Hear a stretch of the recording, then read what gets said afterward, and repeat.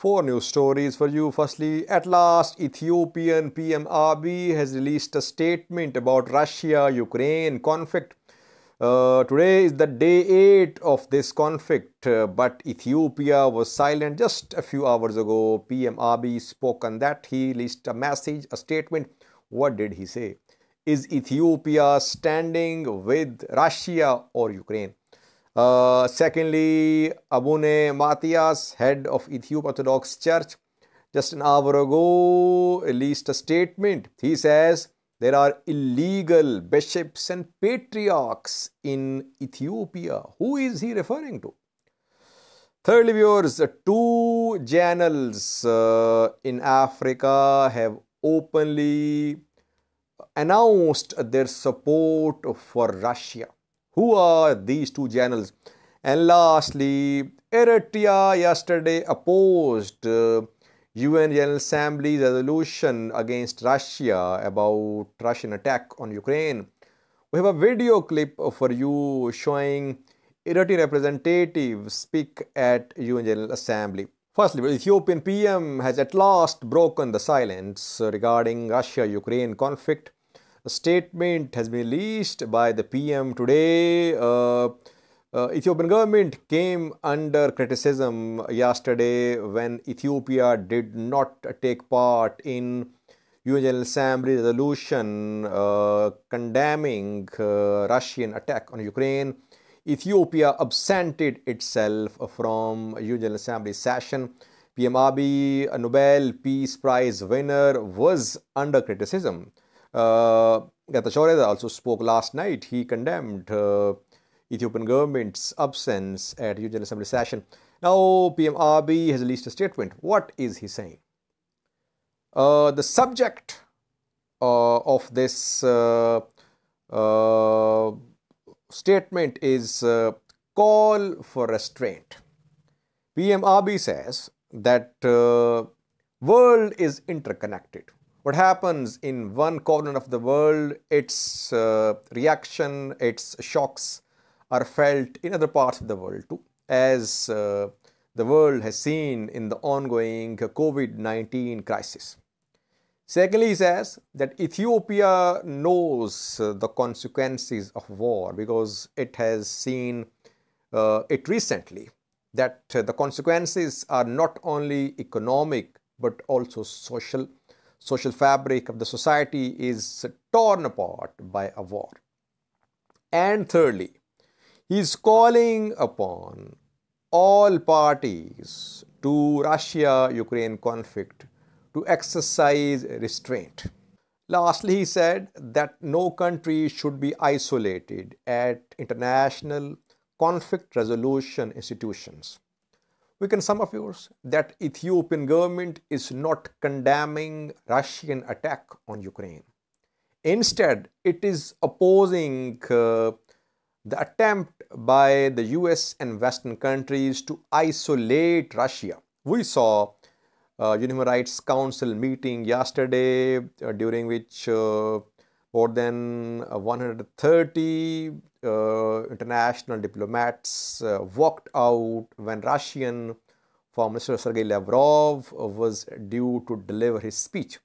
So that is what Ethiopia seems to be condemning that at international level no country should be isolated engagements should continue which i back as well i think yes uh, uh, severing of ties diplomatic ties. It's not a solution to conflicts.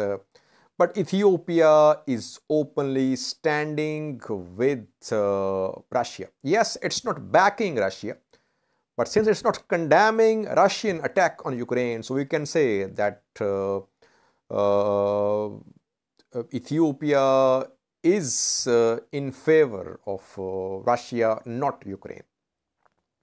Secondly, we would uh, Abune Mathias, head of Ethiopian Orthodox Church, just a short while ago released a statement, a message. Uh, he says that uh, Orthodox Church uh, uh, priests are peacekeepers. Are these peacekeepers playing their role?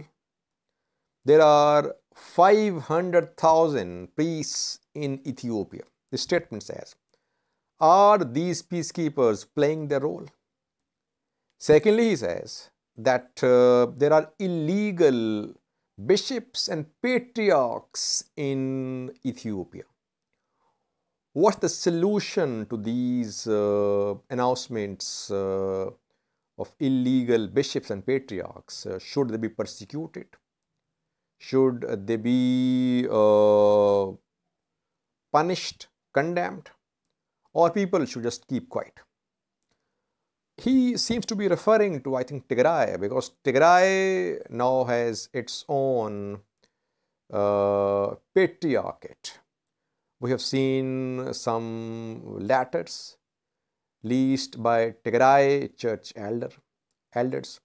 Tigray Orthodox Divided Church seems to be splitting with Ethiopian Orthodox Church.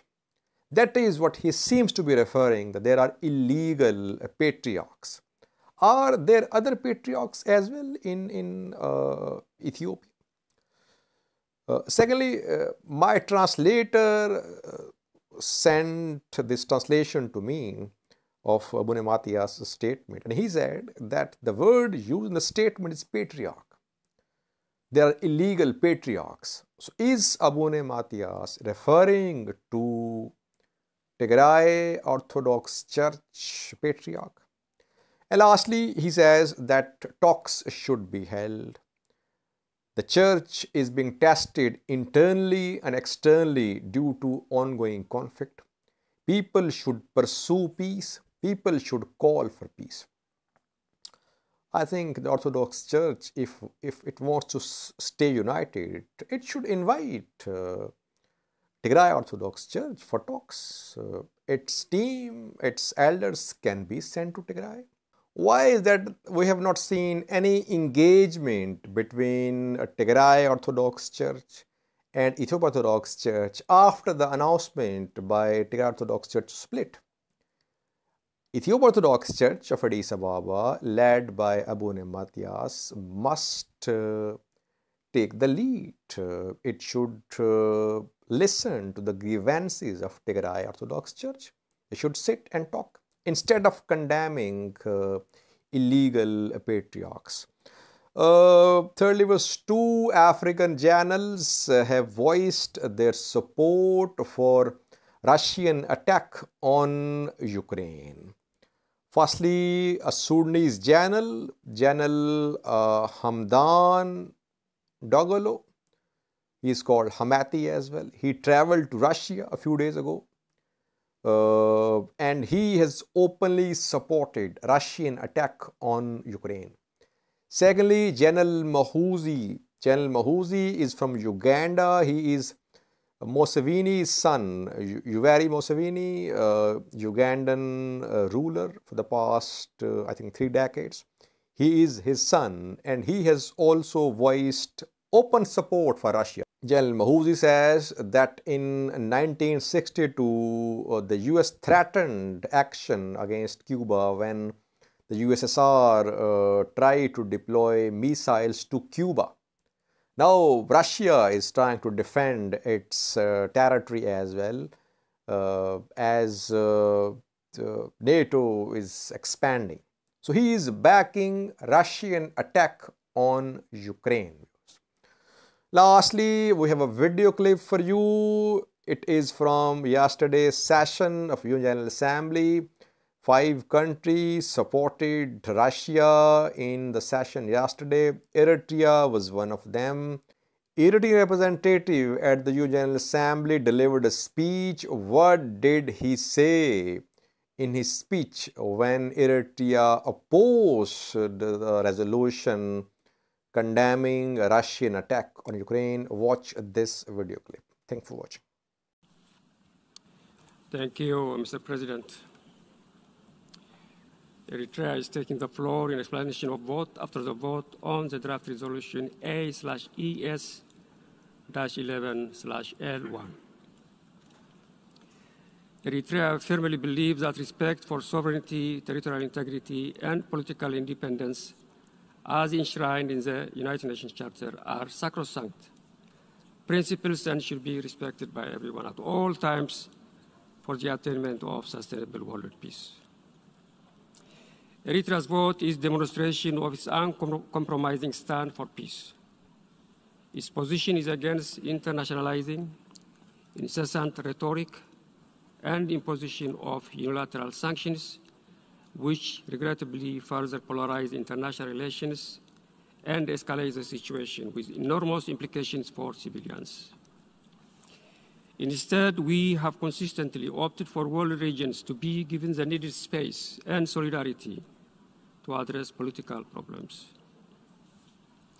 The situation between Russia and Ukraine raises serious concern with political, economic, and security ramifications for Europe and the rest of the world.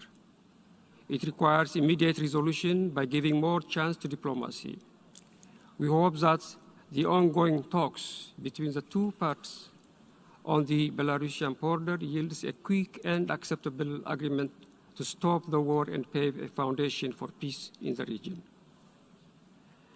Eritrea opposes all forms of unilateral sanctions as illegal and counterproductive. Eritrea, the country that has been subjected to such measures by the West for two decades, including new sets of unilateral measures, understands that sanctions do not resolve problems of peace and security. On the contrary, they only hurt innocent people and undermine the road to peace. It will be remiss if I don't address disturbing reports that African citizens living in Ukraine are facing difficulties to cross the borders. We call on all countries to facilitate safe passage to people fleeing for safety